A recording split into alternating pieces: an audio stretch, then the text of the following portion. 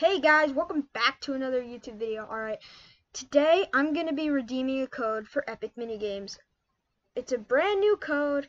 It hasn't been it hasn't been expired. Alright, so the code is it's pretty easy. It's just tunes.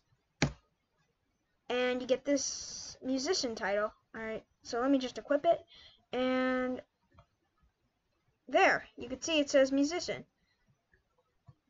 so yeah, this was a pretty fast tutorial. Alright, so remember to like the stream. No, not stream. Remember to like the video, share it with your friends, and join the Discord server. Link will be down below for the Discord server. Alright.